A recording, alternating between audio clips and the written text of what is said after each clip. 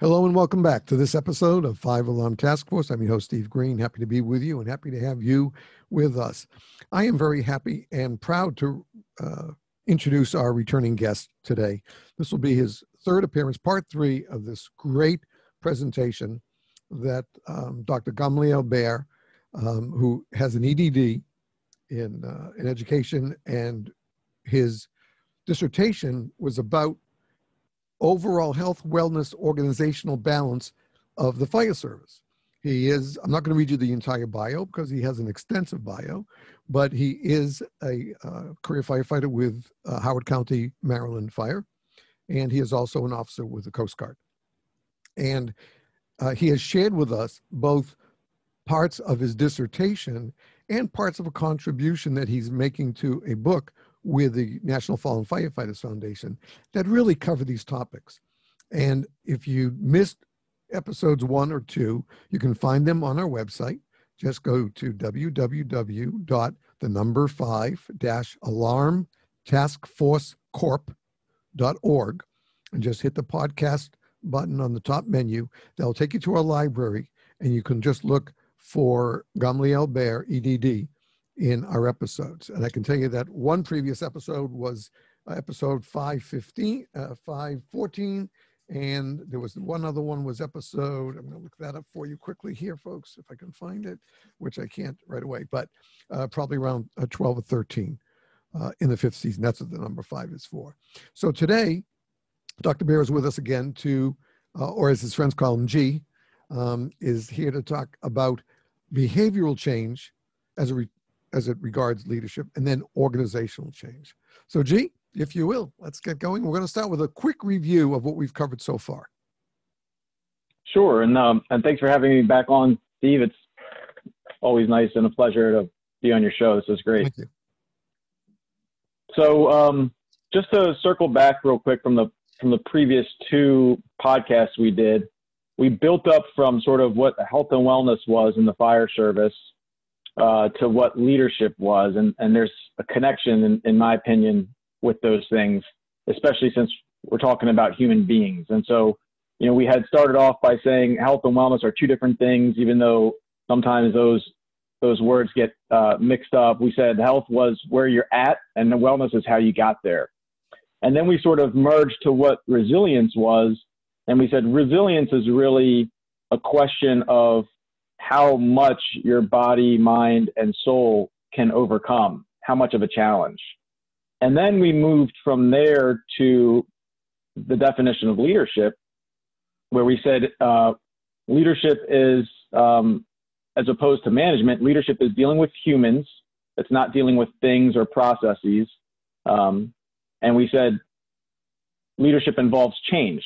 So you're talking about changing humans in some way, and with humans, we have a body, mind, soul. Um, so you're talking about changing one, at least one of those dimensions of a human. We also said that leadership involves that change to be positive. We don't, we don't really think of leaders as somebody who's doing negative things. Uh, there might be somebody who's in charge, but we don't think that that's leadership. So leadership would be a positive change to a human's body, mind, or soul. And it would be doing that by reducing some knowledge gap because really if, if you're not reducing a knowledge gap in the person that you think is following you then that means they already know what you're trying to tell them. So that would be a requirement of leadership.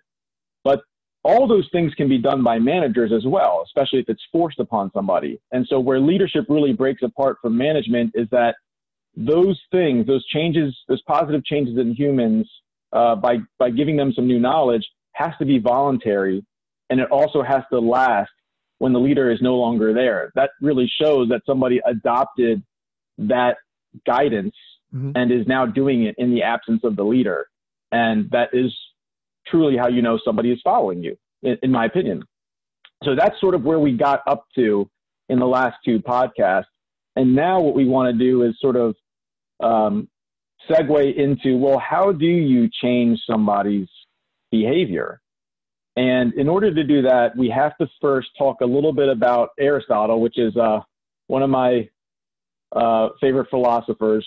And Aristotle gives us this assessment um, in order to find out whether somebody is responsible for their actions. So what Aristotle says is you have to look at four different things. He says uh, you have to know if um, somebody was aware or had knowledge of the circumstances surrounding their behavior. Uh, you have to know or assess whether that person knew right from wrong, so whether they knew how to navigate the situation. Uh, you also have to assess what the intention was of somebody's action. And lastly, you have to assess whether there was any force being applied to the person um, on their action. And so those four things are something we're going to quickly go into and, and give some examples about because it's not until you do an assessment of those four things that you can really say, what is it that we have to work on or, or change in order to get somebody's behavior to change? Uh, are we good so far? Absolutely. So uh, we'll go through some examples here just to give the listeners uh, something, uh, you know, fire related to, to make this make sense. So first of all, Aristotle says, if you want to know whether somebody is responsible, ask yourself or ask them or do an assessment of whether they understood the circumstances. So an example would be you get a new recruit into your fire station and uh, this recruit is fresh off the streets. Sometimes that happens, right? Had no fire experience. And um, we all know that some officers are different. I know a lot of my officers like to keep the radio on um, and just listen to what's going on in, in the whole county, in the district, if you will. Well, uh, let's just say, for instance, you had this new recruit come in and the new recruit wasn't really aware of what the tones were, let's just say. Um, and the tones are dropping all day long, and the recruit is not really sure what's going on. He was just told to go mop the floors in the bathroom, for instance. Um, and the tones drop for your station, and uh, the recruit is nowhere to be found uh, at the engine. And sometimes that happens, and the officer just says, "All right," you know, tells the driver, "Let's go ahead and get it. We'll, we'll deal with this when we get back." So, how do we know uh, what was the cause of this person's behavior? We, first, we have to start with were they aware of the circumstances? Did they know what those sounds were going off? Um, and if uh, if they didn't know what they were, did they know how to find out what those sounds were? Right. That would be sort of understanding the knowledge of the circumstances. Uh, just to um, interrupt for a second. That's exactly what I went through. I came in off the street into a volunteer department. They were very, very welcoming. Um, we had the county radio was on throughout the building, all you know, throughout our building, all the speakers, and you heard tones drop all the time. Uh, the only initially when I first got in there, you had to know those tones or hear the radio dispatcher say, um, Guilford, you know, Guilford called or station 17 or station 19 to know that you were being dispatched. Uh, but it, they didn't have any, as we do today, the kind of follow-up buzzers in in house that would ring with like your plectron going on. Oh, plectron, boy, I'm really aging myself. But the old plectron radios before we had pagers, before there were ever were pages, um, the old plectron radios would the tones would drop, but it would activate your radio by a subtone that heard heard, and you'd hear a you'd hear a buzzer going off in your plectron. That's what woke you up at night. Well, in the firehouse at that initially they didn't have that, so the tones would drop. People are running around, and if you if you were in the bathroom mopping up the floors because that's what your assignment was, you might have heard people running, but by the time you did, and so you were watching them go out the door because you're still holding them up, going, where do they go? Because you, right. I didn't know. So that was right. back in those days. That must have been a very common thing for, especially for for uh, volunteer departments uh, in the South where I was, uh, if they all worked in, in, that same way. Yeah, yeah, and so and and that's uh that's a great um, true world example. I was just giving a, you know a made up example, but that happens all the time, I'm sure. And it sounds like it kind of happened to you before. And so that that first step, knowing the circumstances, that can apply to you as an individual, or it can apply to the situation. And and really, what Aristotle wants us to assess is, did the person know the things that can't be changed, and did they know the things that can be changed in any given situation? Like for ourselves, you know, I'm five foot 11, 170 pounds. I can't change my height no matter how much I hit the gym. That's a genetic trait that I have. I can't change my eye color, at least not, you know, without contact lenses or something like that. But but I can change uh, certain circumstances of my life. I can eat different. I can go exercise more. Maybe put on some more muscle. Change my weight a little bit because of that. So that's that's the first assessment: is did the person know the circumstances? Did they know what could be changed, what couldn't be changed? Did the recruit know that they could go look and find out if those tones were for their station? Did they understand that? So the next step is does the person know right from wrong? So assuming they know the circumstances, let's go back to the recruit. The recruit hears a tone drops and uh, realizes there's a call going out, but he doesn't know if it's for the station or not, right? That's possible.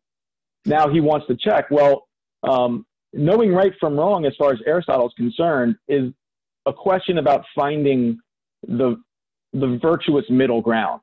So Aristotle says, in any um, choice, there's a deficient choice and an excessive choice.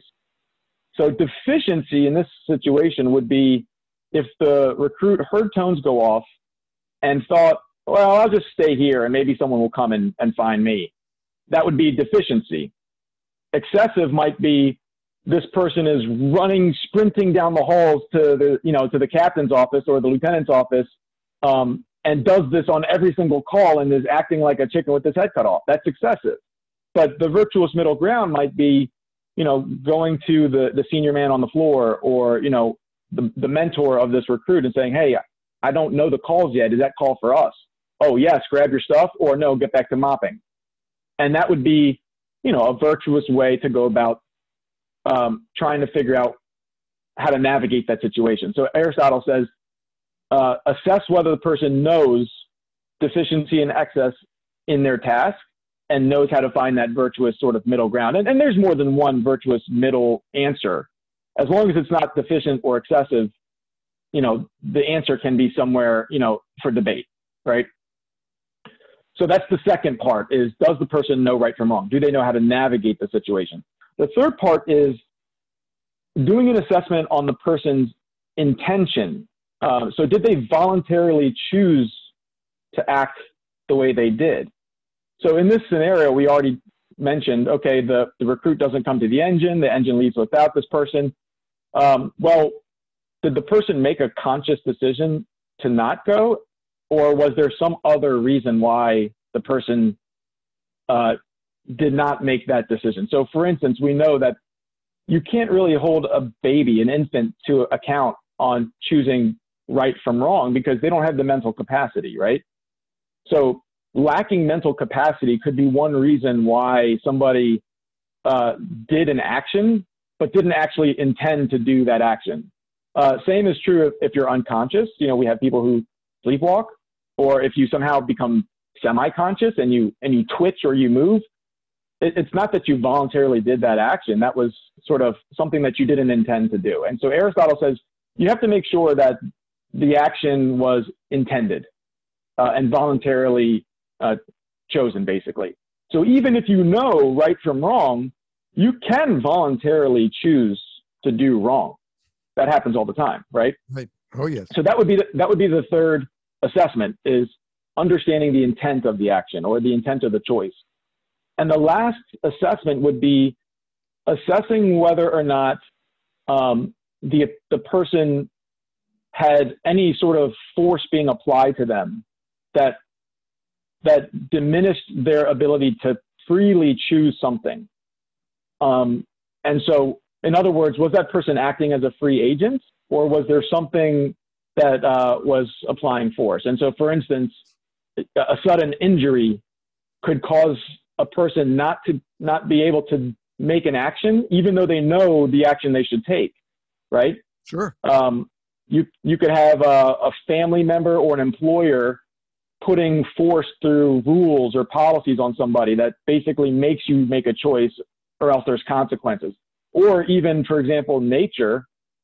If um, you know, if you're on a, a, a boat and there's a huge storm coming, and you have to you know, throw all of the gear over the boat to make it, uh, you know, hopefully withstand the storm, you know, that's another potential choice that was sort of forced onto you.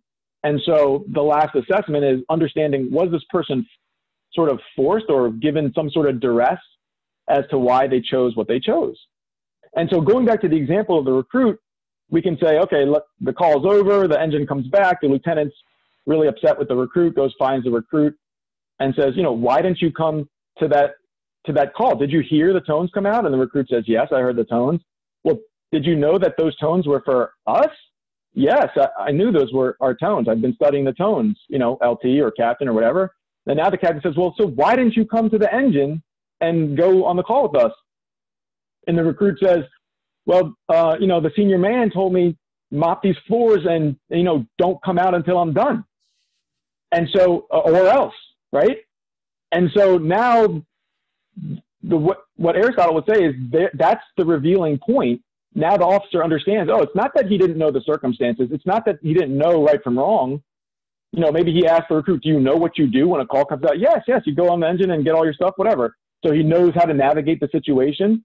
But he finds out that, you know, the recruit was threatened, maybe with some physical, you know, punishment or something like that from the mentor, and basically interpreted that if he left the job of mopping for any reason until he was done, he would get in trouble. And so he so he kept mopping, right?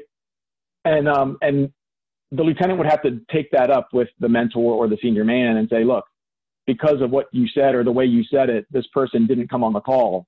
And um and you were basically applying some sort of force psychologically or physically to this person that caused them to not make the right action that they that they thought they should make. Does that make sense? Yeah, it does. It it, it really does. And because we know that um, you know, we the fire service has a history that sometimes we treat our probies or our rookies with a little bit of disdain to toughen them up, as the old right. the old saying would be. Um, but that doesn't mean, I think, like you've just pointed out, that uh, and, and usually uh, the rookie will put their tr- faith and trust in whoever was assigned as their mentor, was their senior man or their officer, and you know what they say goes basically, unless the chief steps in to say something else. So it, we know that that occurs. Um, very rarely is it ever done with uh, personal enmity for, especially if it's really a, a real rare, you know, really new recruit or something like that. But the misunderstanding is certainly possible under those circumstances. And I don't think that's something that we've ever really considered or, or thought of. You know, I think bringing uh, the, the thinking of Aristotle and his philosophy from several thousand years ago to today, to today's fire service. Initially, when you said you wanted to talk about Aristotle, I was going to think, okay, trying to think, was he was he like a volunteer firefighter in Greece or something like that? But no, but what you just said really makes so much sense because of the nature of our past and even some of our current history. Uh, right. I, I, think it, it, it makes a lot of sense. Yeah, and um, there, there are other ways that we could finish that example. So, for instance, maybe maybe there was no threat by a senior man, but maybe his knee popped right when he was going for the call, right? Um, and he knew he had to get to the engine, but physically couldn't because his knee popped on trying to leave from not mopping. That would be another example of he was under some some force was being applied to this person. In this case, physical bodily force from his knee right. that prevented him from getting to the engine, or he maybe fell unconscious because he had a seizure or something like that. You know, there are other reasons why you could end that story with other ways. Maybe maybe the ceiling collapsed in the bathroom. You know, we don't know. We'd have to assess that. That's what Aristotle would say. And so that that example is um, that would be a really easy fix. The way we ended the example, the lieutenant would just talk to the mentor or the senior man and say, "Hey, uh, no more of that. You know, you can you can tell him to do something, but you know the way you said it prevented him from going on this call. So that that fix is easy. But when we talk about behavior change, we're talking about you know a better example might be like weight for a firefighter. You got a new recruit.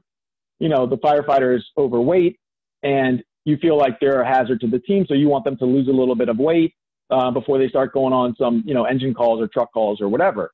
Now, what are we going to do to address the behavior change?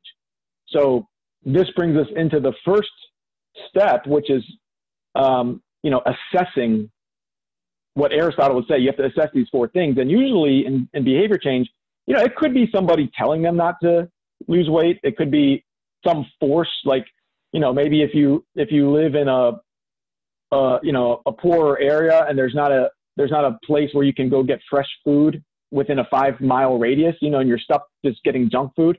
You know, those are things that are sort of out of your control, and that's not really about behavior change as much as it's about trying to change the environment or the situation, right? But assuming that's not the case, then we would start by assessing what does this person know about the circumstances? What does this person know as far as right from wrong? Um, and are they choosing right if they know right? And so once we make that assessment, we would then move to um, the next step, which is now we have to address that issue. And to address the behavior change, uh, first we have to come up with some sort of goal. Um, so the lieutenant might make a goal and say, look, we need to get you down 10 to 10 pounds or whatever. That's the goal. Let's, let's uh, agree to something. And if, if we're talking about doing this in, the, in leadership versus management, you know, obviously we would assume that everything is voluntary. So we're just assuming here that, that the recruit is going along voluntarily with all of this sort of coaching, if you will, or this leadership, if you will. So they both come together, they agree to a goal of weight loss. Let's call it 10 pounds.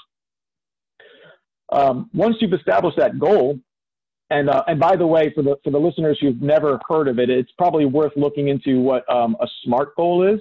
It's an acronym, stands for specific, measurable, attainable, relevant, and time bound. And so when you do a goal that's under the SMART goal model, uh, the chances of reaching that goal are, are, much more likely. And the idea of SMART goals is to make it so that um, you know a 10 year old might want to be a doctor, right? but there's a lot of smaller steps becoming a doctor if you're 10, right? And so using the SMART goal model, you would break down all those steps into the next chunk, the next step, uh, until you reach your final goal.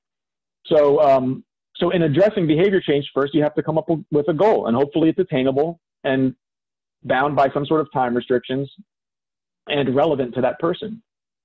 Uh, you would then, the next thing here is uh, you have to find out, well, what's their baseline? uh, where are they at right now? You know, the, the lieutenant might know they need to lose some weight, but we don't really know what that person's weight is. And the reality is, uh, as individuals, as humans, we don't walk around all day taking baselines of ourselves all the time. Uh, I think it's more natural to be walking down the street or sitting in your house and being like, hey, you know what? I want to make this new goal for myself.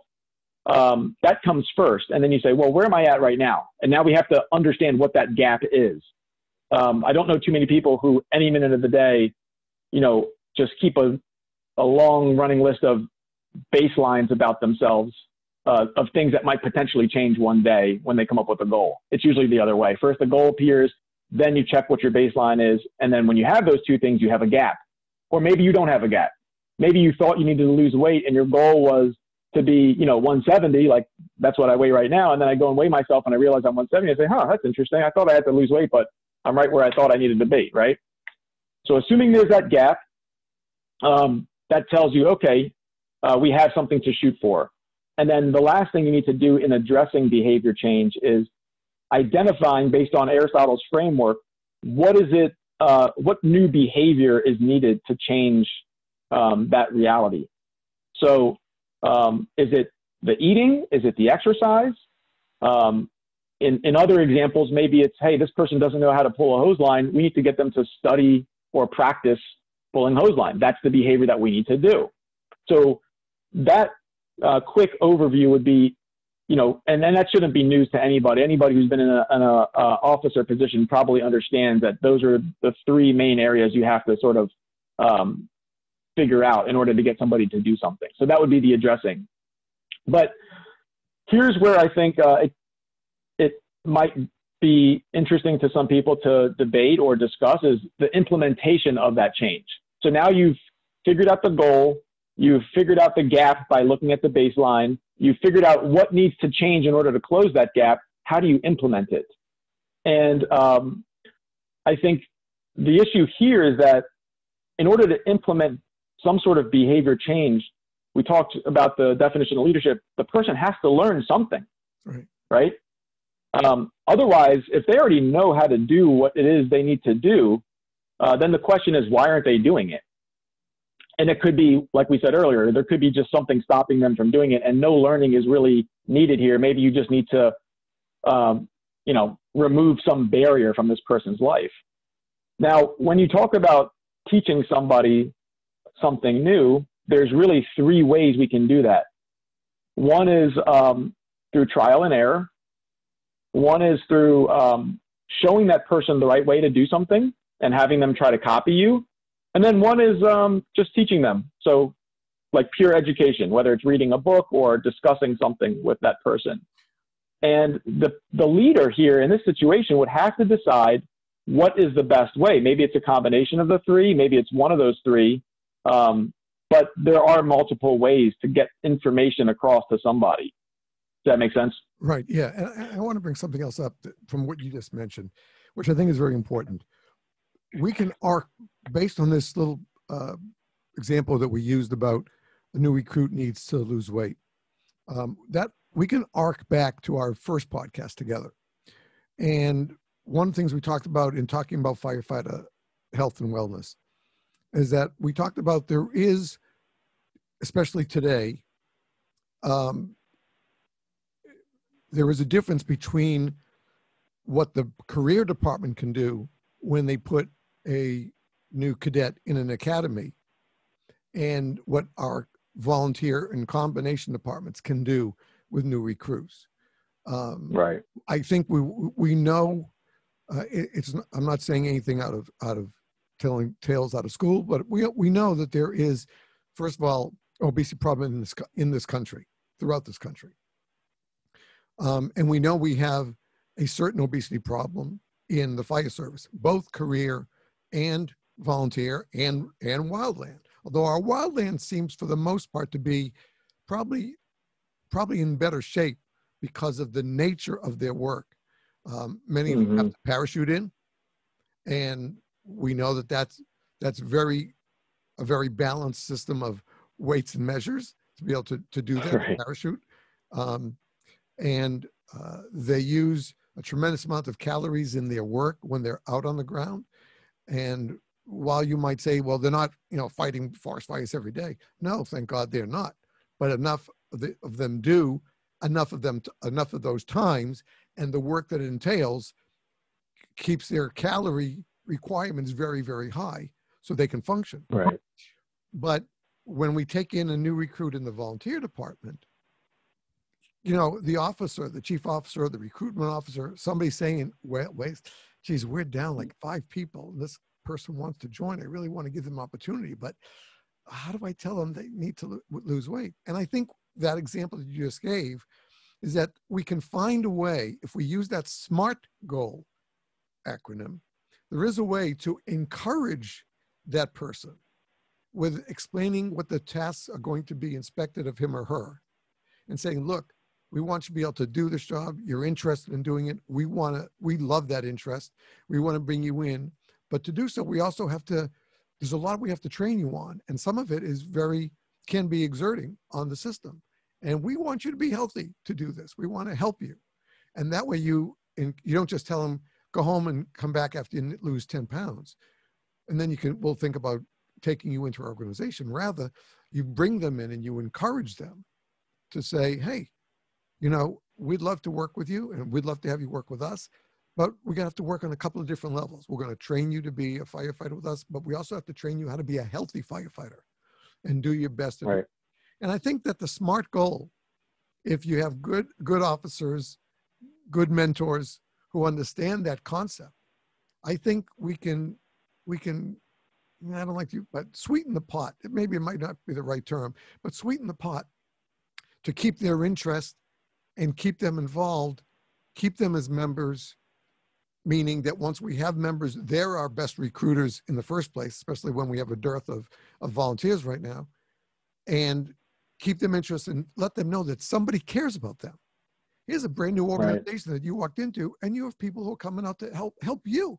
They want to help you and help care for you to make you a better person, a better firefighter. And I think that will carry that message in a much more positive vein than saying, yeah, you know, you're good, but uh, you know, you, you need to lose 15, 20 pounds. So, you know, come back Right. on that because they're going to walk away and they'll never come back. Yeah, exactly. I think that's a great point, Steve. And I think that really gets to the heart of um, this new push to have these support systems in place. And we'll, we'll sort of circle back to that, I think, in the next uh, part of this podcast when we talk about organizational leadership and, and the systems that are required in, in an organization. But I think you're absolutely right, which is, um, you know, if people feel like they're being supported and offered something, um, I think there's, there's more of a desire to take take those uh, offerings and those suggestions seriously, or or even just give them a try. Uh, whereas if they're not being offered, uh, you know, sort of you don't see it, you don't hear it, and uh, you're just left to your own, uh, you know, volition to try to decide what you think you may need to do in your life.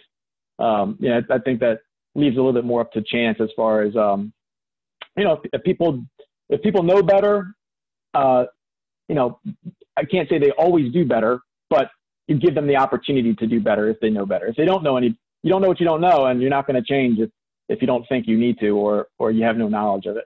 Exactly. Um, which I and that brings us, I think, uh, into a good segue into this implementing the behavior change, um, which is, you know, a leader has to be, um, you know, they have to be smart. They have to be clever on how they implement the change to the individual.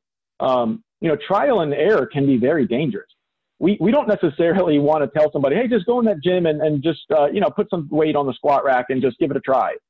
Um, but you can plan safely to give somebody trial and error. Um, and I think we see this a lot of times in the, in the firehouse.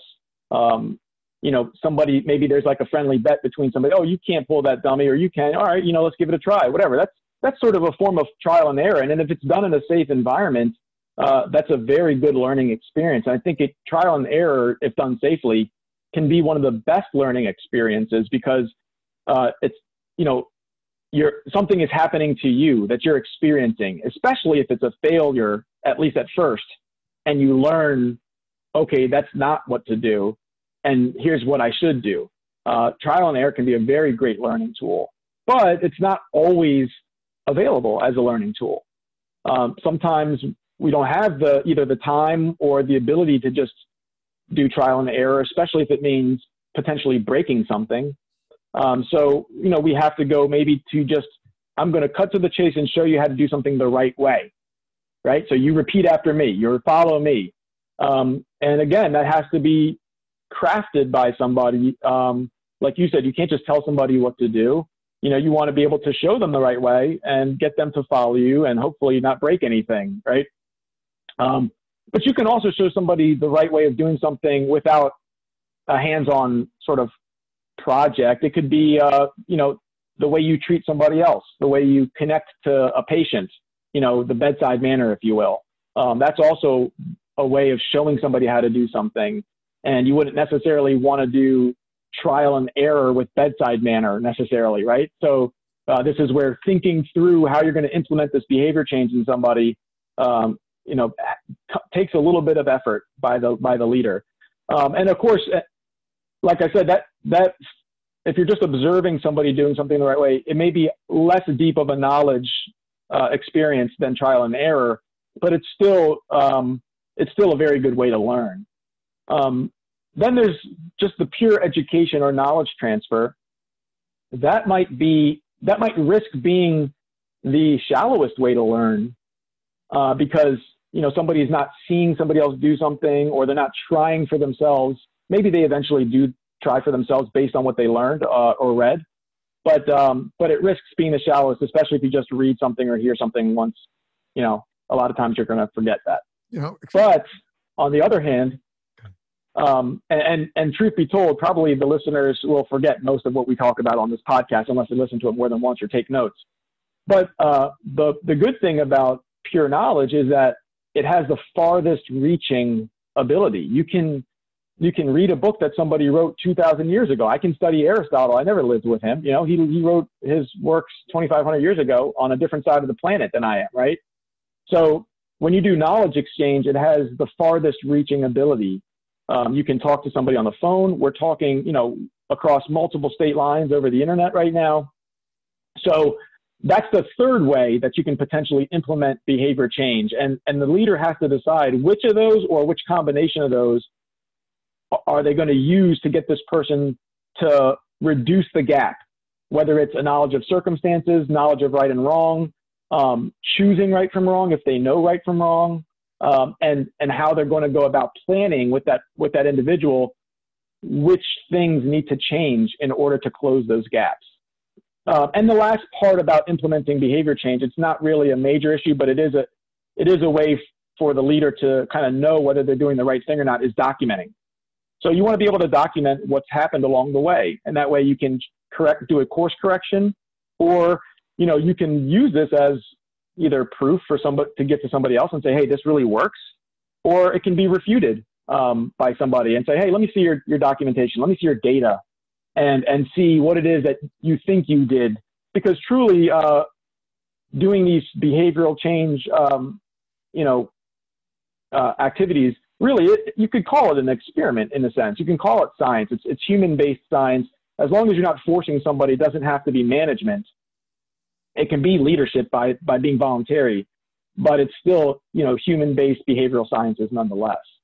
Um, and so documentation is important because you can sort of do course corrections or, or go back and see what you did wrong if you need to. Um, and that brings us to the next question. It is sort of a, a question that gets um, prompted by this is well, not everybody is ready to change at the same rate. And, uh, and there's a theory about that. It's called the trans theoretical model of behavioral change or the TTM. And uh, what that model says is that, look, if people are at different stages in their life at different times, um, and you're not always going to be able to get somebody to engage in a behavior change activity just because you as the leader are ready. So they say there's a, a few stages in the TTM. Actually, I think it's five. There's pre-contemplation. Somebody is in a stage where they're not even thinking about changing yet. There's contemplation. So they're now thinking about change, but they're not ready to act. There's action, where they're now working towards the behavior change. Uh, there's maintenance, where they're working to keep the behavior change. And then there's termination, which is you no longer need the leader's support uh, to make that change. You're sort of good to go on your own. And of course, one other op, op, uh, possibility is uh, you you revert back to either action or maintenance. You know, sort of like if you regress a little bit until until you're ready to do that all on your own. For some people, maybe they'll never be able to do something all on their own, and for others, maybe they'll reach that point quicker. But it is important to understand that um, based on the TTM, you know, you can have uh, 10 people on the same shift and only one of them is really ready to receive guidance voluntarily from a leader, and potentially the rest of them need to be managed. That's possible, and that's that is one of those uh, interesting parts about leadership is that you know uh, leadership isn't always going to work because it takes it's a two-way street. It takes a leader and a follower to engage voluntarily, and if the follower is not ready to voluntarily engage, you can't be a leader because you don't have a follower to get, engage with you. Does that make sense? It does. It does. And, you know, you brought up something there that reminded me of a very cute story with uh, teaching somebody else, and that was when I joined the fire department in North Carolina. I was one of the other, my buddy and I. We were the first two Jewish people ever to go into this department, and um, I was more observant then, and I was uh, keeping kosher outside the home. But I would usually go for my lunch hours down to the firehouse, um, which was good because it also got me some daytime calls uh, to run during that time. But uh, I would never eat with what they were making for lunch because I told them I kept kosher. And I, they asked, a couple of them wanted to know a little bit more about kashrut, and I explained it to them. So I come in one day. This is after a couple of months, and one of the the the uh, the uh, caretakers, the guys who work 24 on, 48 off, to get the first piece out. He he said I brought my bag to lunch of lunch with me. He says, Steve, I got something that you can eat with us today. I said, what? He goes, a, can of beans. I said, I know I can't eat the hot dogs, but I can beans. He says it has that symbol on the can that you told me about. So I had told them, taught them about the UO and, or the Circle K or something like that. So I said, man, that is the nicest thing you could have done. Thank you so much. I said, I said, let me see it. So he brings it out and I'm looking on the can. And I, I said, Bruce, is this the symbol you were talking to? Talking about? He says, yeah. I said, that's a circle R. That means a registered trademark. but thank you. It wasn't it wasn't the OU. I said, but thank you for looking specifically so that you could include me in the lunch. I said, even though I can't I can't eat that, that the effort means more to me than even having the meal with you because you went out of your way to try to do something to be help me be inclusive. And I think that's exactly what you just touched on. There is a way of reaching out and, and teaching someone that you don't know necessarily if they pick it up or not until they make an effort to give back to you some of the information they've picked up from you. And yes, they it might not be exact, but at least they they picked up something from when you first taught them, and they're trying to implement it. And I think that's that communication that we that you're talking about. Yeah, and actually, that's a, a great point. If you go back to what Aristotle would say, he would say that um, the person uh, thought they knew how to navigate the situation and made the right intention for the right choice, right? Exactly. They just didn't really know the circumstances well enough. Right. So, for, from a leader standpoint, you have to go back and re-educate them about the circumstances, um, and and then they knew they thought they knew how to navigate it, right? They did. If that was truly the the kosher being uh, can, they would have done the right choice. Absolutely. You know, it, it was only wrong because they just needed to be re-educated about the circumstances exactly. essentially. Exactly. And so uh, so a great example um, and uh, and in that person's case you know yeah they were technically wrong. They had the right heart. They had the right intention uh, but it just needed a little bit of re-education, and uh, and then that behavior will change next time. I'm sure if they had another and another opportunity, they would have brought you the, the right can of beans or you oh, know whatever did. food Later it was on, that they would have tried. Yep. Later on, they did. Yeah. They did. It was. Oh, nice. Okay, we were, great. We were very lucky that here we are, the first two Jewish guys in this department, and there was in the four years that I was there and three and a half years that my buddy was there, uh, there was never once anything that wasn't inclusive for us. They we were never set aside. Um, we were invited to the Christmas parties. They wanted to know if we wanted a Hanukkah party to do, uh, and it was just they were just a great group of of people to be with, uh, accepting and eager to learn, and um, because they really most of them did not know any Jewish people, because they were in the right. were just over the city line, and so there was a big difference and uh, that was what I was working in town for as an educator. So um, to me, it was just another piece of what I was doing at the synagogue, just doing it at the firehouse by people who were saying, I do want to learn about you and your practice and your faith. That's great. It really was. Steve, uh, oh, I think um, what we can do here is we can do uh, one more uh, small section and then maybe take a break okay. for our uh, for our guests. Um, and this section really uh, is uh, the second part of the TTM issue, which is not everybody's ready, right? Um, how do you get somebody to uh, want to do the right thing? So in the TTM, um, you know, like we said, you could be in pre-contemplation or in contemplation. You either aren't even thinking about the change, or maybe you're thinking about the change, and you're not yet sure if you want to make action on the change. And in those circumstances, um, knowledge would be a really good thing to give to this person. You know, giving them some education about the circumstances, um, or maybe they're not ready to make action because they don't know how to take action. So explaining to them how to navigate. Um, but if somebody's ready to take action and they're trying to work on maintenance, you know, that might be more of a motivation issue. And uh, and so we're going to talk a little bit about motivation and um, I'll briefly touch upon uh, sort of, you know, the carrot and the stick idea, which is used in management. Um, and then we'll talk about ways that aren't carrot and stick related. Um, and we're going to talk about Daniel Pink. He's got a famous sort of model of, uh, of motivation uh, that your listeners can look up on their own time, but we'll go over quickly. So, um, so the interesting thing about motivation is, um, like we said, you can use the carrot and the stick, which is, hey, if you do this, you will get this, or if you don't do this, this will happen to you. Um, but that, that's a management tool. We don't want to encourage somebody who thinks they're going to be a leader or is trying to be a leader to do that. You're basically using influence um, or force to try to get somebody to do what you want them to do. And on top of that, um, I would argue that introducing that type of motivation, a carrot and stick, even though we label it as motivation because the idea is you're trying to get somebody to do something, it actually requires knowledge. You won't be uh, motivated, even extrinsically, even from the carrot and stick, unless you know what the reward or punishment is, right? So you have to give somebody knowledge for them to be motivated of those carrot and stick rewards, whatever. But again, that's management science. We're not trying to show people how to do management science. Of course, they could do it if they if they need to.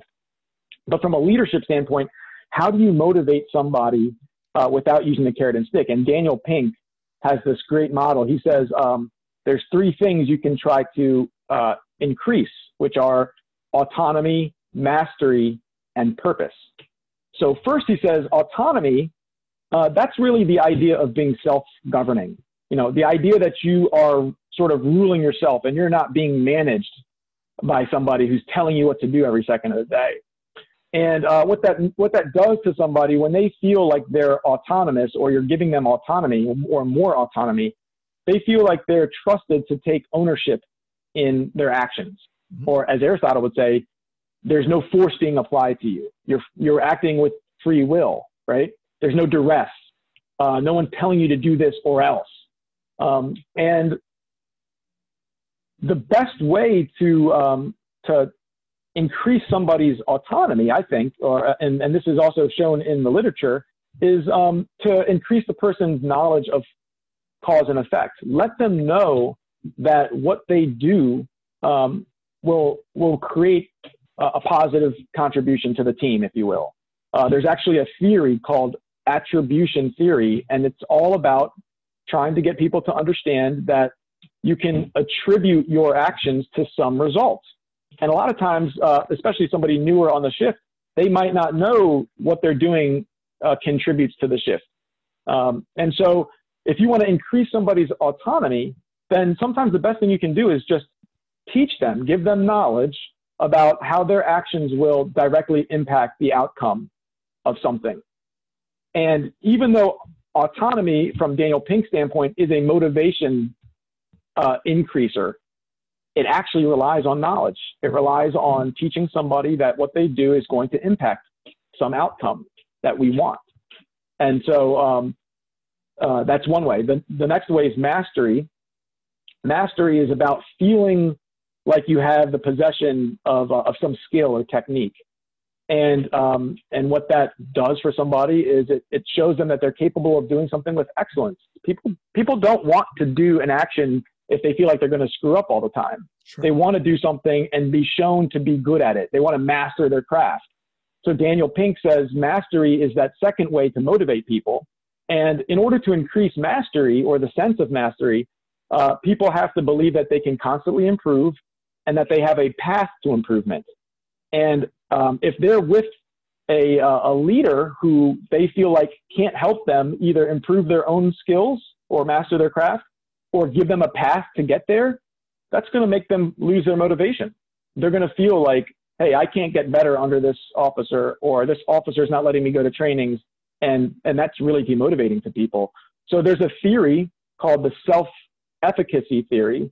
And what that is, is um, it's about having people get better at doing a skill. It's sort of like confidence, but in a very specific sense. So you can have, you can increase your self efficacy on pulling hose. If you have somebody who shows you how to pull hose real well or throw ladders, you can increase your self efficacy. And the more somebody feels that they can do an act with excellence, the more they're likely to do that act.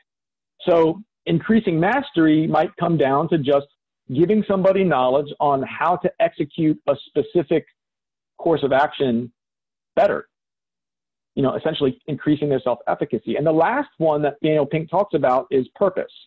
And that's all about having somebody feel like um, there's some goal or some object to be attained that is, um, that is for the greater good or the greater purpose. People want to feel that. And uh, sometimes people just need help seeing the bigger p- picture. They, they get lost, uh, you know, they get stuck seeing the trees for the, you know, the forest, if you will. And uh, sometimes they just need that 30,000 foot view, and a good leader can teach them how something really is uh, purposeful And so uh, there's another theory called utility value theory, which is all about get, changing somebody's perception of the usefulness of what they're doing. You're basically reframing an issue so that they feel like what they're doing is useful, or you show them why what you're doing is useful. Give them the big picture, show them how this helps the greater good, and they're more likely to do it. And so to increase somebody's sense of purpose, it could just come down to increasing their knowledge of the value that their actions have uh, to the contribution of the group or society. Um, and so again, Daniel Pink, he talks about these three things, autonomy, mastery, purpose. Autonomy is feeling like what you do is caused by you, like you actually can make an effect happen. Mastery is feeling like you can get better at something. And um, purpose is feeling like what you're doing is for a greater good. And those three things can really improve somebody's motivation, Steve. Oh, no. And so I'll turn it over to you for the break. Um, but yeah, I mean that that just really boils it down. It's it's really what it's really what the especially if we apply this to the fire service, it's what this the fire service is all about. Those three things. You have we have to teach the new person what to do and how to do it. We have to give them the opportunity to try to do it to the best of their ability, and they may not have mastered it the first time. You know, think about punching out a lock. The first time you you have to learn to punch out a lock.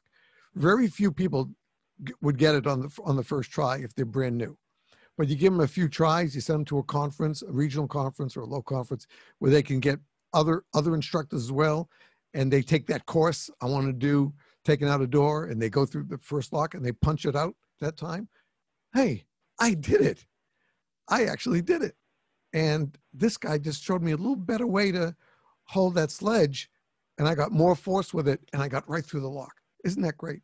And that those three levels that you just talked about, I think really are, are definitely worthwhile for any level of the fire service and really anything in, in public service. Because if you you you entice them in, you got to give them something for them to stay, as you said. Um, you just can't put them, you know, you'd be on the nozzle on the first call. You've never had any training, but you have to teach them. Right. And then you have to make sure that they're getting it and that they can implement it. And when they implement it, they get that feeling of self satisfaction that they've done something proper, they've done something correctly that has contributed to the greater good of the organization and the community. That's how you keep people. Yep. Yep, absolutely. Very true. Great. Great way to sum up that first part. All right, folks, we're going to take a brief break here. Uh, if you are watching the video, you will not see anything different.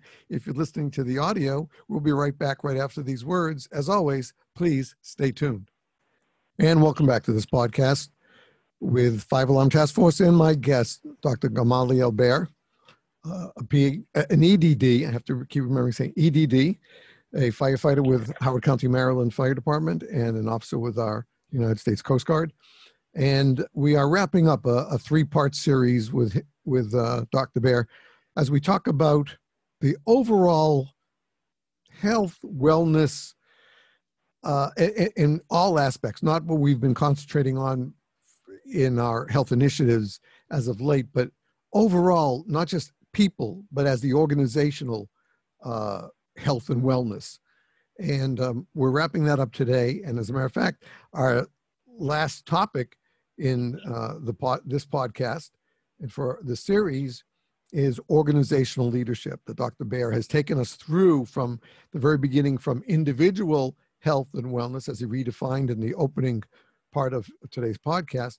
But now we're going to talk about come back down to this level of organizational leadership and how that contributes to the overall wellness of this organization. And, and for our purposes, we're talking about basically the three main organizations public safety, the fire service, law enforcement, and, and, and EMS, and of course, of, including our, brothers and sisters in wildland firefighting as well.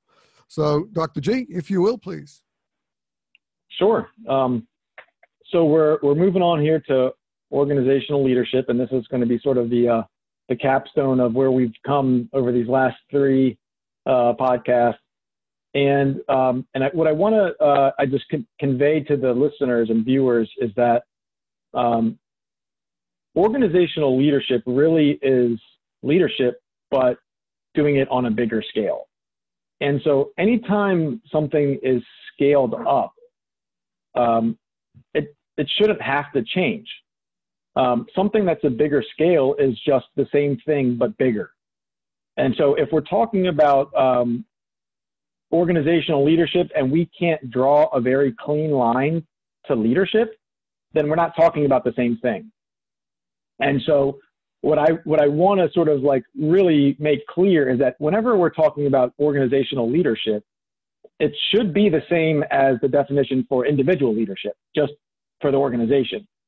And I say that because going back to I think last podcast when we talked about the definition of leadership, we mentioned that uh, you know the word leader or the word leadership can be used as either a noun or a verb. And when you're using it as a noun, it refers to somebody in a place, whether they're in charge or maybe it refers to the plural of the folks that are in charge of your department. Sometimes we say, oh, that's just the leadership because we mean the folks in charge.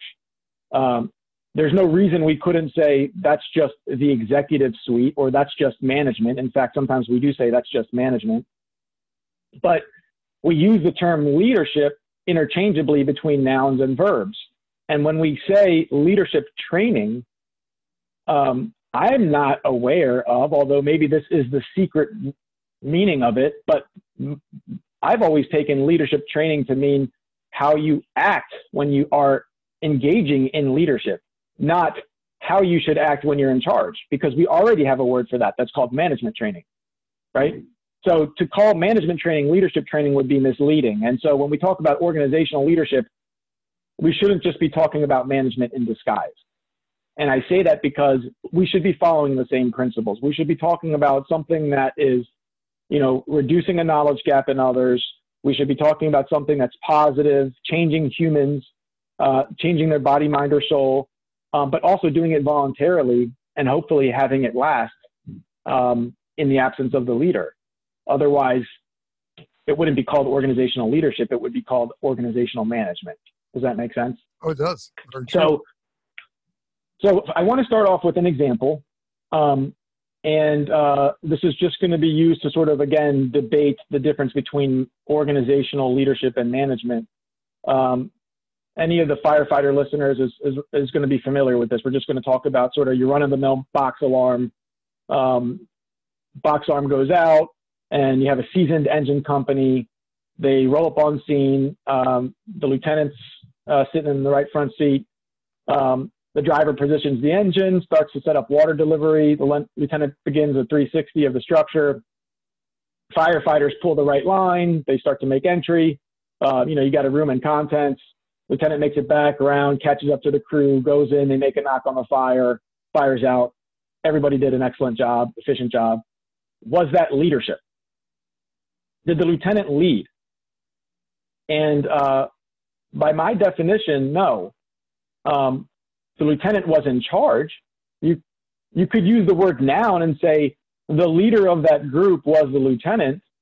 But in this particular case, when you have a veteran crew that all knows what to do, the person in charge really doesn't have to say anything.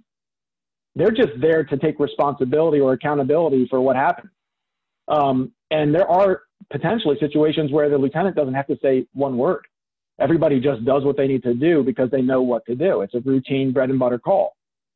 Well, what if the crew wasn't a veteran crew? What if they were a, a younger, newer crew and the veteran and the lieutenant had to, you know, bark orders at the crew uh, throughout the evolution? They still put out the fire. Everything gets done. But throughout the call, the lieutenant was barking orders and saying, do this, do that, get on the radio, whatever. Is that leading? And I would argue that in either case, that's not leading. Uh, that's managing.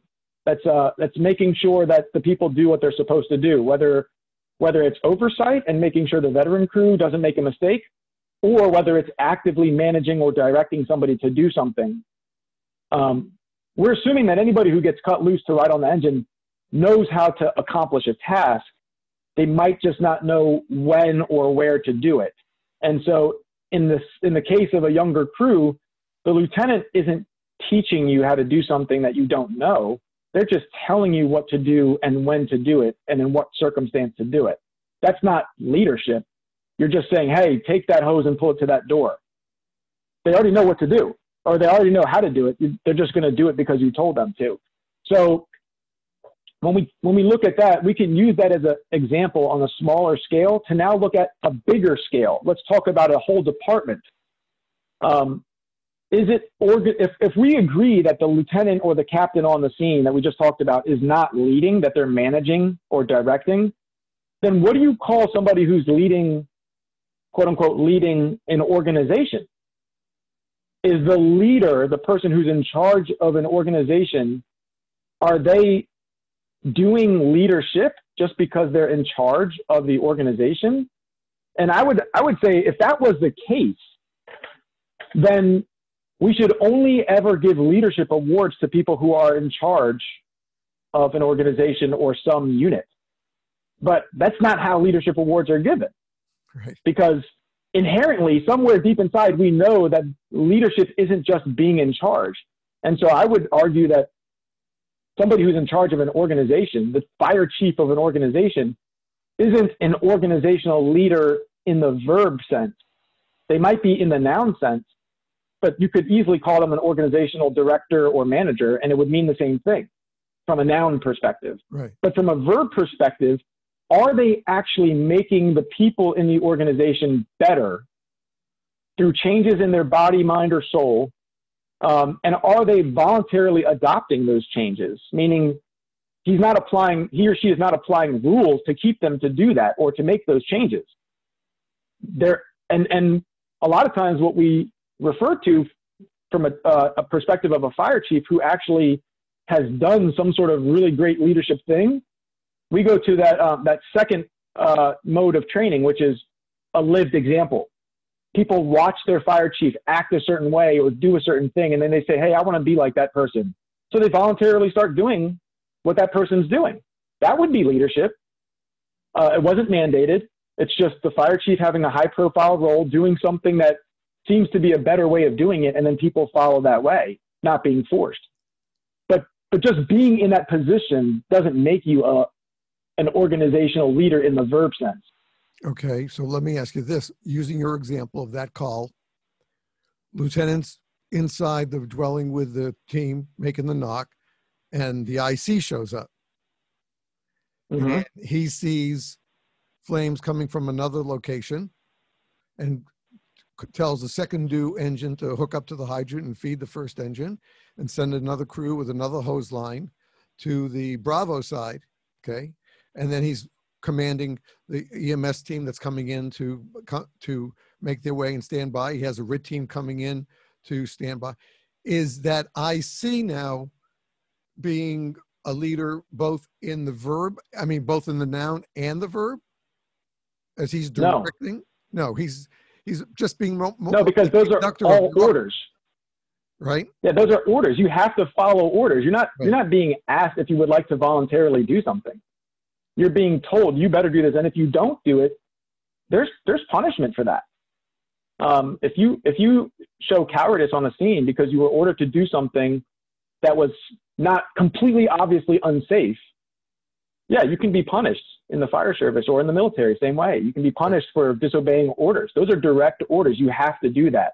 That's that's probably one of the stronger versions of management because if you take it to the logical conclusion, if we say that's leadership, then authoritarian governments are leaders in the verb sense because they can just tell you what to do.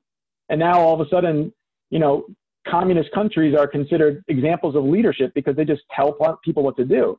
Really, I mean, I know uh, this this isn't going to sit well. I don't mean it to be this way, but in the military and in the fire department, under the direct order structure, that is authoritarian. I mean, that, it is what it is. Yes, we live in a free country and we're we voluntarily chose to be in the fire service or in the military. But once you're in, you're allowing yourself to be managed uh, if it's a direct order system.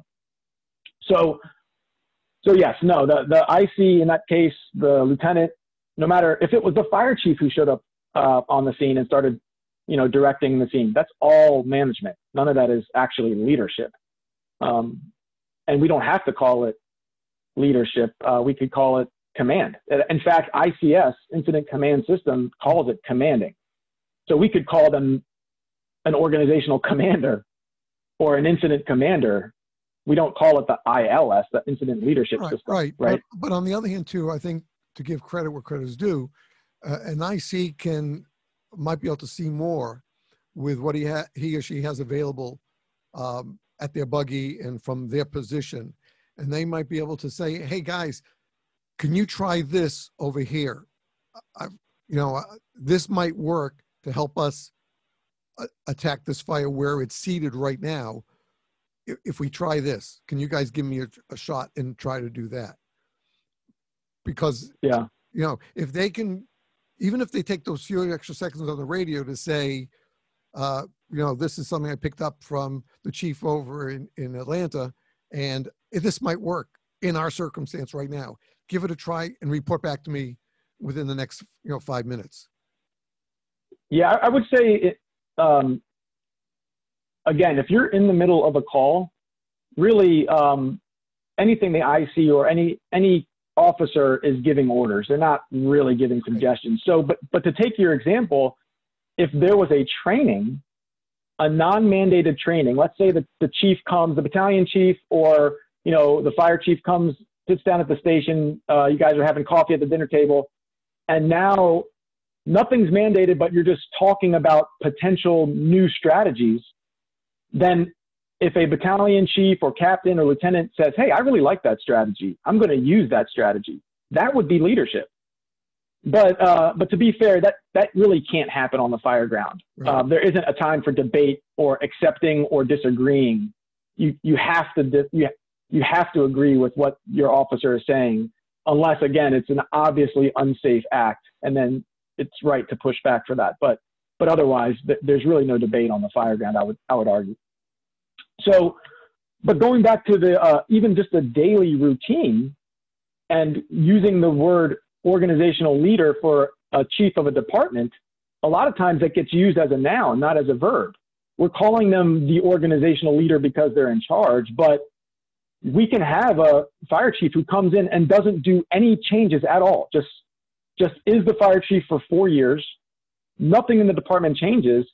Um, and by the definition of leadership that I proposed, uh, he w- that wouldn't even qualify for change management if nothing changes. You're just sitting in a role that's in charge. And in fact, we have general orders that are orders that are already written down so that so that the person in charge doesn't have to repeat those orders every day, right? So it's plausible. Obviously, this doesn't really happen, but it's plausible, or at least hypothetically possible, that a fire chief can come in, really not give any orders for four years or a year or some time, and the department just runs itself because of the general orders that are already in place. And so that's sort of a proof here of what we're talking about that just because you're in charge of an organization doesn't mean you're leading them to anything new. It just means you are the leader in the sense of a noun, which can be exchanged for the manager or the administrator or the director or the commander. We just call it leader because leadership is sexy. My friend says it's the bacon for for military and fire. You know, you put you put leadership on anything and it's like wrapping it in bacon. And you know, it's funny he's not Jewish, of course, but you know, it's just I I know what he's talking about. It's like yes, it it is the bacon of everything. You call anything with leadership on it, it becomes sexier, right? So what we're trying to get to is, are you actually an organizational leader from our definition here that we propose, and, and what does that look like? And so here's another thing before we move on, which is, okay, let's say you're in charge of an organization or a unit and you change something. You know, we talked about all the different steps that it, that it takes to be a leader. Change has to happen, but that's not the only thing. And in fact, you can change something and it can just be completely meaningless. Uh, we all know a fire chief that's come in and changed the uniforms just because one fire chief wanted collars and the other one wanted t-shirts or whatever. That's not meaningful change. That's just change because of preference. But you didn't really, you know, lead somebody's body, mind, or soul somewhere that they were already not. Um, same thing with like boots. You can change boots. You know, um, between companies or gear between companies from one year to the next. That's not really meaningful change. That kind of change happens all the time, but that, that's, you know, that's somebody managing some sort of change. That's not leadership. So I just wanted to sort of front load those, those ideas before we get to really, okay, so what is organizational leadership? Well, going back to the definition of individual leadership, where we said you have to improve somebody's body, mind, or soul through a, through reducing a gap of knowledge. It's got to be a positive change and um, towards a goal, and they have to do it voluntarily, and it's got to last when you leave. Uh, that's how you know they have adopted it. Well, organizational leadership then is just doing that on a bigger scale. So if you're a, sh- a shift officer, a company officer, you're trying to do that in your members on your shift. We talked about the TTM and and how not everybody's going to be ready for that change at the same time. So you might only be able to get somebody to voluntarily take on a change, let's say one out of four members on your team or, or your shift at a time.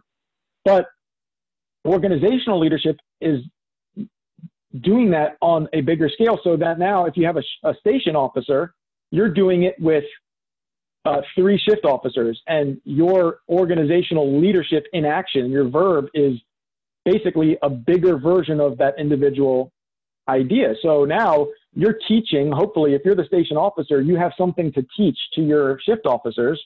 You're hopefully teaching them something that they now can improve upon and pass down to their firefighter.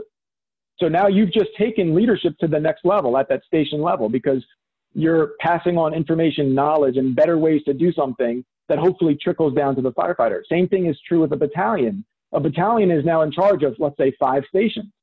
And hopefully they're able to pass on, the battalion chief is passing on something to the station captains that then pass it down to the shift lieutenants, that then pass it down to the firefighters. And you can bring that all the way up to the chief of a department. But that can only happen, Steve, if at each one of those levels there is uh, a, a, knowledge or an ability to do something better than the level below you. Um, and it's possible, and we see this happening. I've seen it in my own department, um, and I've, I've heard about it in other departments where somebody gets promoted and they don't really have anything to pass on. And at that point, all you can really do is manage. All you can do is tell somebody to do something. You're not actually providing them a better way of, of living or, or uh, treating the people under you. You're not actually passing something new down. And so, from that standpoint, organizational leadership is really a question of leadership that goes beyond the individual or group level. You're now making some sort of change that's voluntarily accepted and it's spanning either a portion or all of your department. And um, that, again, would have to be without forcing people to do that. If you're doing mandatory training, that that's management. But if you're saying, hey, folks, I'm going to set up a training, you're welcome to come. You don't have to. And it's going to be this Saturday, and we're going to go out to the parking lot, and, and I'm going to show you some, some new ways to do something.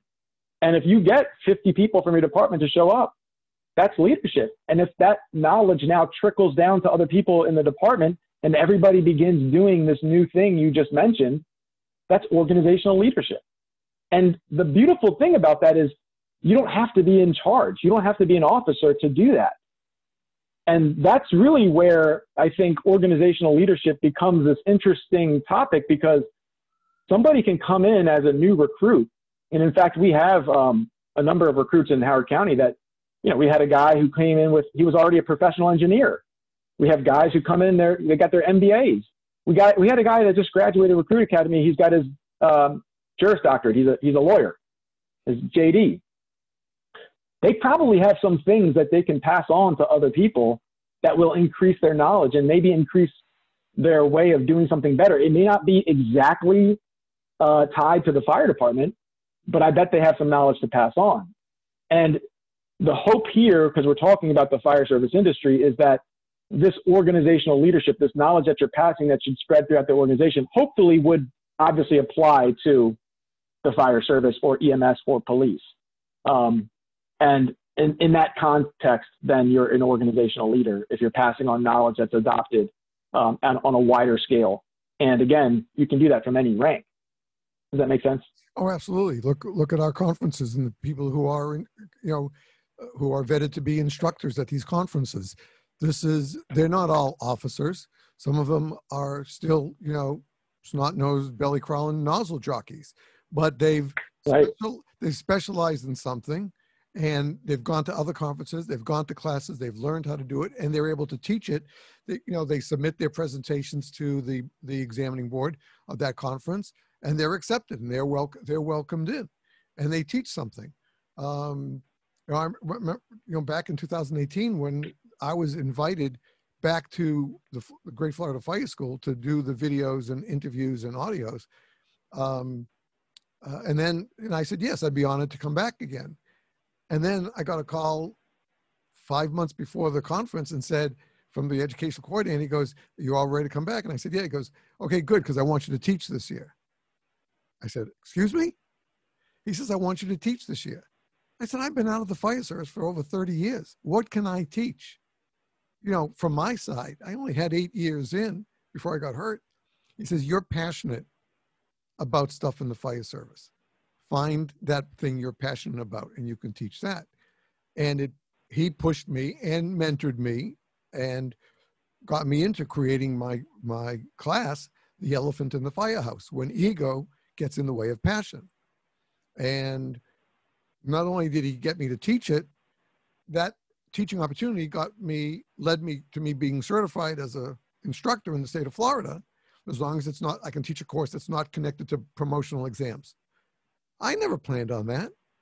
But listening to the three podcasts with you and just having spoken with him last night, I realized that he he is a leader by doing that. He passed on Right. that information to me. I'm a teacher. I've always been a teacher, but I've never been a teacher in the fire service. And he taught me, he says, you have something to offer to share with other firefighters because you're passionate about it. It doesn't mean that you're still in there. It just means that you can share that with other firefighters to help them.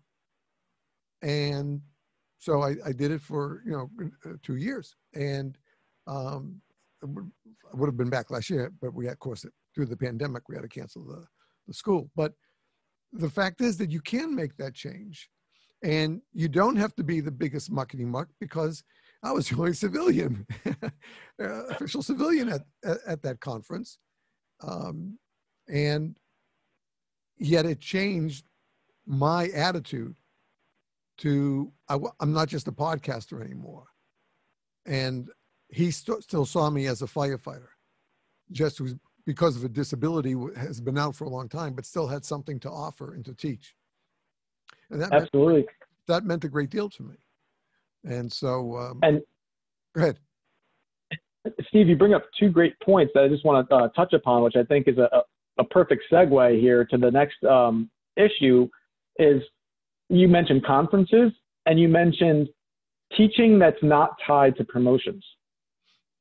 And so in conferences, you you buy a ticket to the conference and you're allowed to go to whatever class you want to go to. That's all voluntary, right?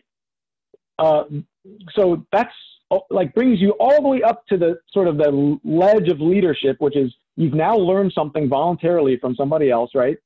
Now the question is, do you take it home with you and, and do you adopt it once you, you know, once you're out of the presence of that, that person who's telling you what they told you? That, that would be the true marker of whether or not that person is a leader that you listen to. But in, in conferences, that's a, a great example of leadership taking place, or at least potential leadership taking place, because you're choosing to voluntarily learn from somebody that you think can give you something that you maybe didn't know. Now, you mentioned teaching in, in a department or, uh, you know, in a sense that's not tied to promotions.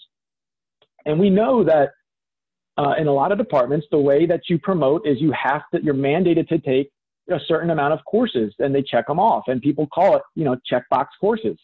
And in fact, there's a lot of jokes about fire department learning because you go, you sit in this course, the instructor teaches you the test, you know, the day of the test or the morning of the test, they review the questions. They say, hey, if you come across this question, uh, you know, this might be the answer that you might want to choose. You know, it's just a whole running joke, but you're, you're forced to do that if you want to promote. But, um, but to your point, teaching a course in a department that's completely voluntary and has nothing to do with promotion, fits that definition of a leader, uh, or at least, again, potential leader, if people choose to d- adopt what it is you're saying and, and take that into their lives. And so, by taking those two ideas, I think really, in order to do organizational leadership on a department level uh, within your organization, it's really about creating some sort of system that allows people to voluntarily learn and it's not tied it's not it's not connected to any mandatory thing. You're not forced to go to the class and you don't have to go to the class to promote. And it's almost like building in a conference system within your department. You just give people the chance to learn something new and you know adopt it into their lifestyle. And i think i think that's really the epitome of organizational leadership within you know a department a fire department or any organization for that matter. Um, which again brings us to this idea of systems. You know, the human body has all these systems, Steve. We have the central nervous system, the respiratory system, circulatory system, the immune system, right? There's a bunch of them. Uh, there's way more than that. In, in the organization, we have organizational systems as well. Um, the difference is that in the human body, those systems are, are sort of created and developed and maintained automatically. You know, we don't have to do anything to maintain or develop those systems in an organization, systems are not created and maintained automatically. Somebody has to build them, and then somebody or some people have to maintain those systems. And so that is one, I think, aspect of an organizational leader, which is you either have to know how to create a system, and in this case, a system that enhances voluntary learning, or you have to know how to leverage them or use them if they're already in place. Right. And so I think that is sort of an aspect of organizational leadership, which is a little bit different than if you're just leading an individual. So now, now the question is, how do you leverage or create a system that lets people learn on a wide scale that's completely voluntary without forcing the replication of that teaching? And, uh, and actually that, that can segue us, if you want to, into health and wellness systems, which there's a lot of national guidance on. And a, a lot of the similar theme between the between the many different organizations talk about non-punitive learning. You know, uh, health and wellness systems that are that are non-punitive and are just there to help you if you seek it out. Um, and I think that that is a uh, a great example. If we want to talk more about organizational systems and actually use an example, we could talk about the health and wellness system that could be created in an organization to help people uh, increase their you know, knowledge on um, physical fitness or, uh, you know, psychological and mental health, um, or even with chaplain services, you know, your soul, if, if, uh, if that's something that the department wants to seek out. So um, I think that's a, one, one example we could take this if you that, wanted to. Is that a um, leading segue to part four of our podcast? because sure, if that's where it goes, it goes there. Yeah. I'm sure. I'm, I'm sure health and wellness we could be covered we could actually there's an, enough in there to to cover do another episode with because it might be yeah. Yeah i think you know depending on your time scale you know we have things changing in the family so uh, i have to uh, yeah. really willing to manage that. It doesn't have to be right away but i just think that um, because we started i think i think it would be a great way to, to finish the series only because we started at that overall health and wellness wellness not only for the organization but for the people in the organization first because if we don't have a healthy organization people we don't have a healthy organization to even talk about so i think that'd be right. a great way to to create uh, as you and i might say the sium the the the the big summary of from where we started to to to bringing it in because i i don't i think if we just give it like you know 15 minutes 20 minutes we're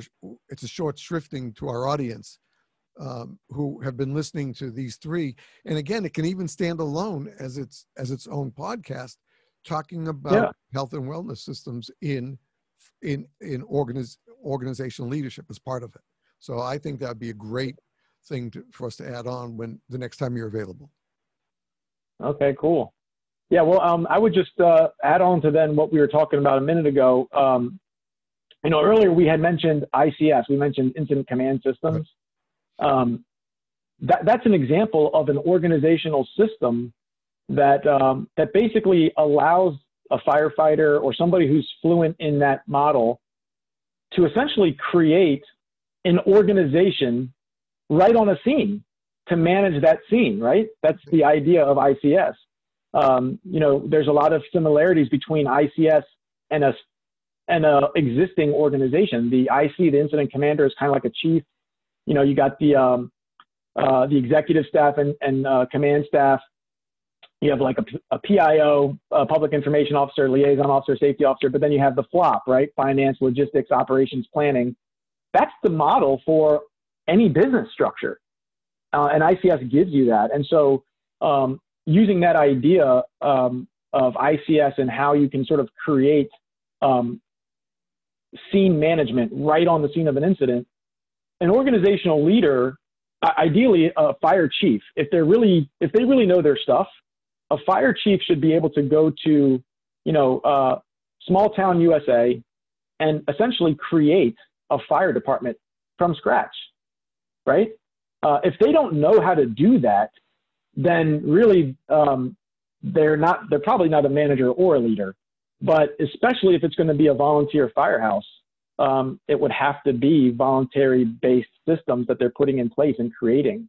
And so um, that's what I think an organizational leader would look like from the position of a fire chief.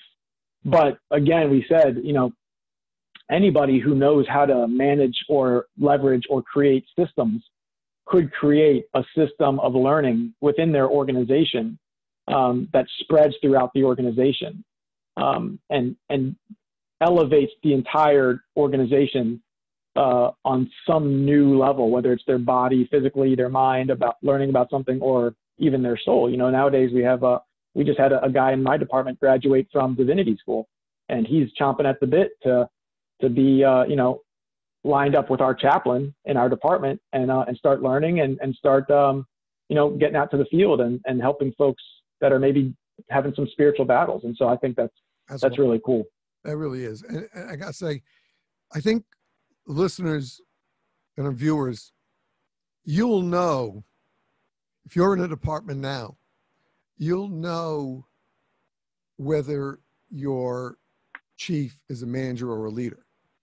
I can tell you from what you've taught me over these three episodes that in my first department, I was very lucky to have a chief who was a leader. He was hands on all the time, taught us new things. He, he didn't just give it to the lieutenant or the captain to do or the volunteer lieutenants. He was off, he'd come out in outside with us or sit in, in the break room and sit around the table with us and say, let's talk about this scenario. What would we do? And okay, what, what would you think you would do next? And what are you going to do if this happens there? Okay, now let's think of a better, way, is there a better way we could have handled that like that? Um, late in my time there, I set up a video system for them. So we were able to use video for uh, both training and after action learning. Um, and he was very open, very open to that, and he liked the idea.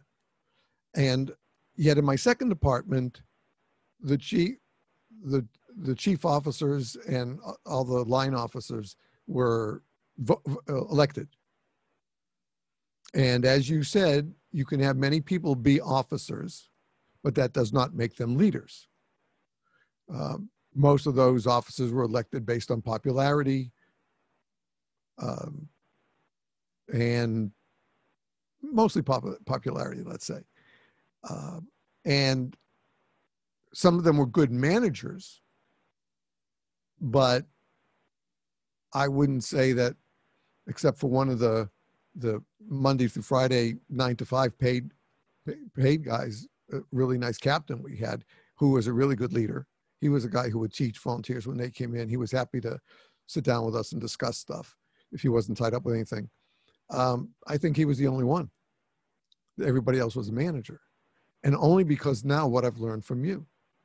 So I think I was blessed that in that first apartment where I came in with no background at all, not knowing anything about the fire service, other than big, big red shiny trucks, um, I had a leader who was also the chief.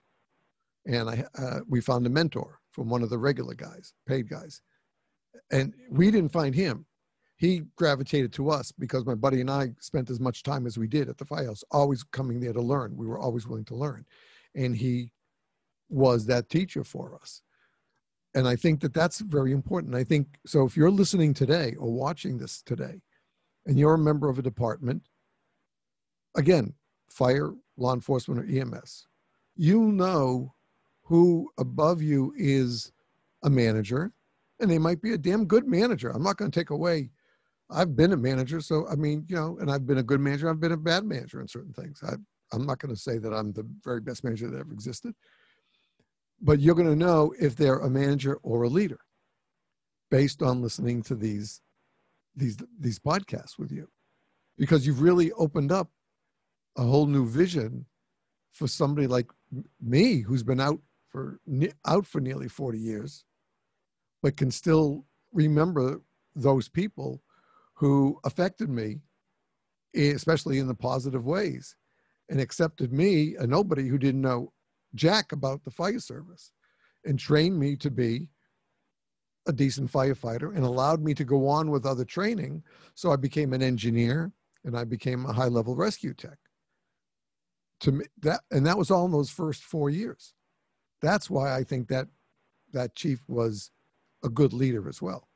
Because i didn't know why yeah, and- he would pick a, a, rookie like me and my buddy to go to that first state conference um, when there were so many people who'd been out longer than us and i didn't know that for all three years that we were sent and i just couldn't go the fourth year because we moved out of the state but when i got to see him several years ago and we were sitting down reminiscing and he said, I bet you wonder why I sent you and Richard to that those fire that fire school. And we said, Oh yeah, we talk about that almost every time we talk. And he says, only because I saw leadership in you two boys. He says, you were professional in your field. You were professional when you came to learn from from us as a as a rookie. And I knew that you boys were going to be officers in this department because I saw that in you. And you guys were like hungry. You were like were, were famished. You always wanted more knowledge. You wanted to learn more. That's why I chose the two of you over anybody else who were members. And I just sat there stunned. We didn't know that. We had no idea. But again, with what you've just taught us, I look back at that time sitting in his living room a couple of years ago and now I know I was right. He was a great leader to me, and I think to that department in the time that I was there.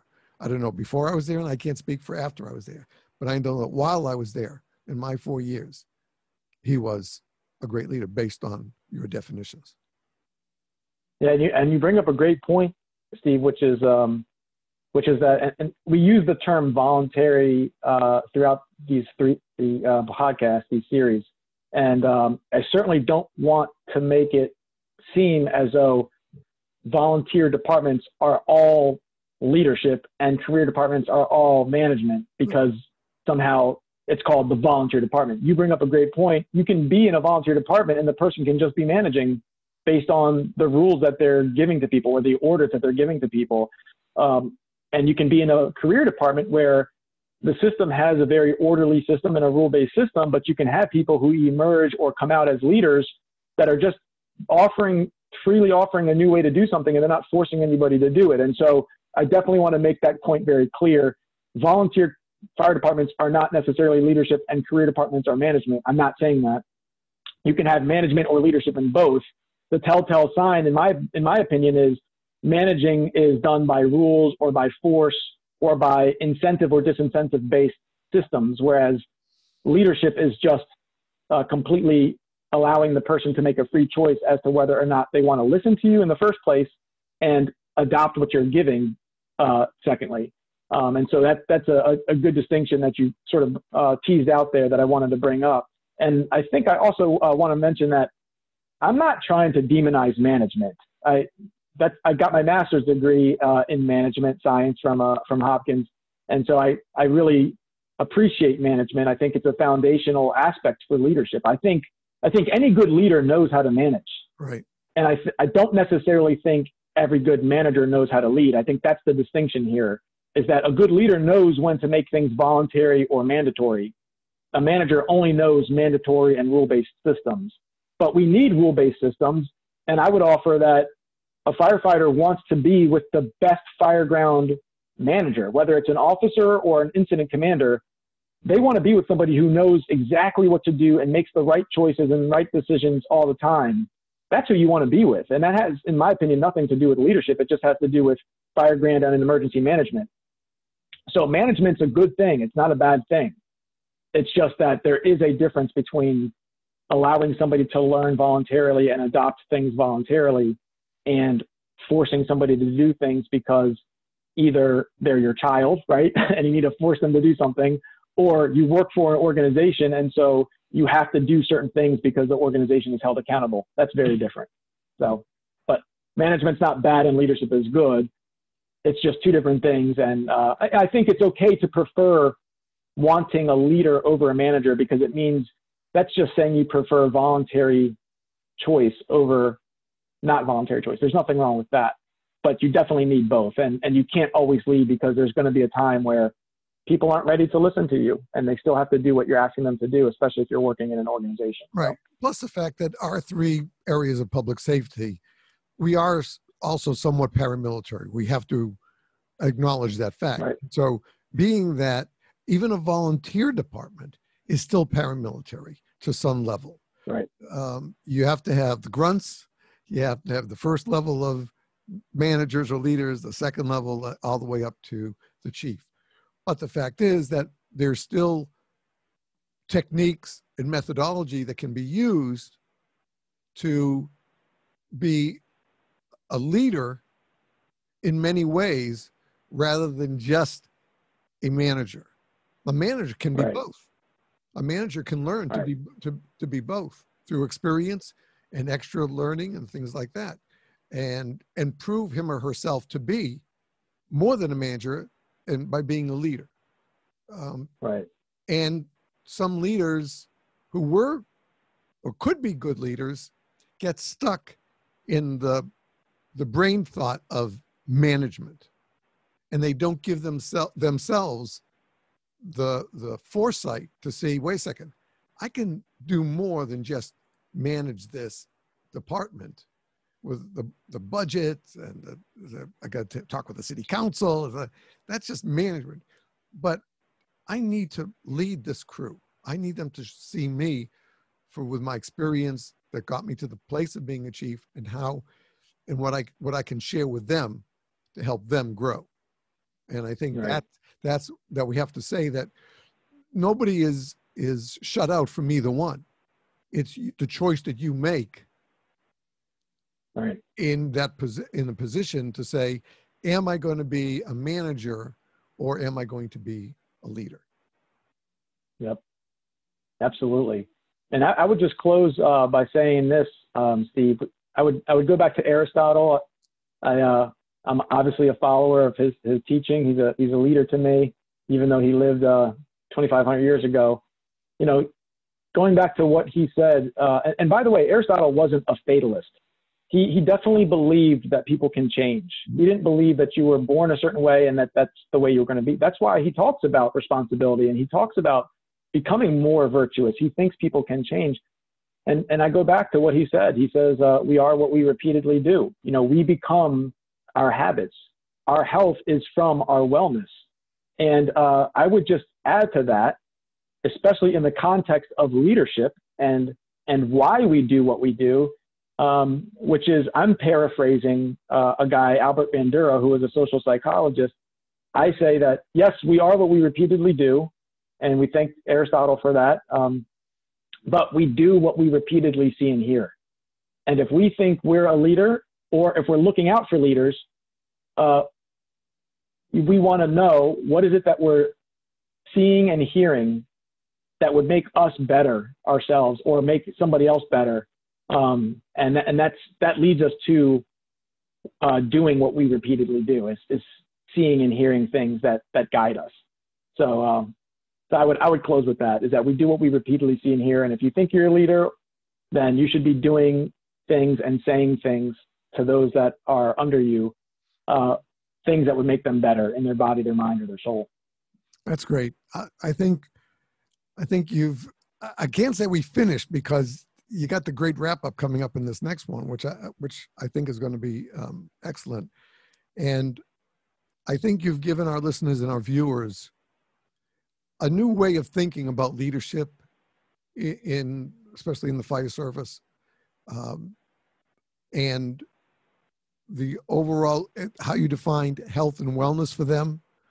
And I think that uh, hopefully that um, some of the the big names in the fire service who um, are the authors of many articles in our trades and stuff like that, and really go out in their out of their way to help firefighters get healthier, and which will then give them better wellness. Um, I hope they're listening to this as well and hear this for their approach uh, because they do care so much about firefighter health and wellness. I hope uh, the the people at the IAFC SHS division think about this the, these terms and how they apply to uh, safety, health, and survival in the fire service because we're so busy now and concentrated on our uh, health initiatives, fitness for duty, our behavioral health initiatives, which we'll be talking a little bit about, I guess, in, the, in that next next podcast. But you've just given us a menu, basically, of a, a new way of looking at who we are and the job that we do how we do it, but knowing that it all starts inside of us first. And then it grows from there by our understanding who we are and what we have to do and what, what we have to do for ourselves, what we want to do for our community, and how we go about doing that. And then the people who we seek out to help us fulfill that self mission that we've created. And I, I think there couldn't be anything more valuable in the general sense of what we're talking about in, in today's emergency services than what you've taught us in these three episodes. I appreciate that, Steve. Actually, what you just said reminds me of a uh, another famous quote of another leader that I am a follower of, which is uh, the sage Hillel, and he says, "If I am not for myself, who will be for me? But if I'm only for myself, what am I? Exactly. And if not now, when? And what he means by that is, uh, of course, you know this, Steve, but for your listeners, that we have to be responsible for ourselves first. We have to grow our body, mind, our soul. Yes, we might need to seek somebody else out to teach us how to do that, but we need to make sure we're doing that for ourselves. But if we stop there, what Hillel says is we become a what? Because animals don't really care about others around them. But humans, we can care about others. We shouldn't just care about ourselves. We should go to the other person and and start helping out the next person. And that truly is, I think, the first step of leadership is trying to see what you can do voluntarily to help somebody else. And so, uh, it's, a, it's a quote that I love, and what you said just uh, reminded me of that. So, great. I'm glad that that that, that means a lot. Um, we don't get to put something like that into a podcast all that all that often. Um, G, I, I just can't thank you enough. Uh, I'm thrilled that we're going to have a, a, a, have you come back because at the end of this, when we were off off air, I was going to remind you that you always have an open invitation to come back anytime. Um, but I'm glad we kind of set set set one up, uh, at least in the idea version of it. And uh, it's again, it's just been a wonderful class that you've shared with us. Basically, this this has been like going to a conference and listening to a great teacher who has lots of experience in, in many facets, not just of being a firefighter. It's being a, uh, a, a well learned individual who wants to come and share and teach the deeper part about being a firefighter. We're just not hose draggers. You know, we're not just hose draggers. We're not just carry a badger and a gun, or we're not just, you know, carry a life pack box and a med kit we're more than that uh, because we're special people. We dedicate ourselves, whether we're career or volunteer or part pay, whatever, we dedicate ourselves to help others. And yes, there are others in the community do that. People join the Red Cross and they and they help with the food bank, stuff like that. But all of us are special because that we want to reach out to others. But public safety, we know that we're reaching out but we also know there's a very sharp edge in what we do. And right. none of us want to think about it, but we know it's there because if we didn't, we wouldn't be doing this job. Because sometimes that's, right. for some, it's the attraction. I want to get into that first working house fire. Okay. Yeah. But once, you know, like I told that story before, is that there was one person who was on an engine with me who, once we got there, didn't want to get into that working house fire. Okay. So I, got, I was lucky that somebody came in behind me to back me up. But the fact is, you can't judge an old phrase, you can't judge the book by its cover. The, we have, you just can't say a firefighter is good uh, or a police officer is better than a firefighter because he carries a gun.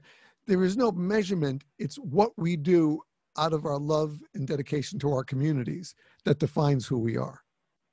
And Mhm. what you've taught us in these three episodes teaches us how to be better people first, better individuals, not just in our departments, but in our own lives and with our families, whether we're, we're still with our parents, siblings, or we have our own families with spouses and, and kids.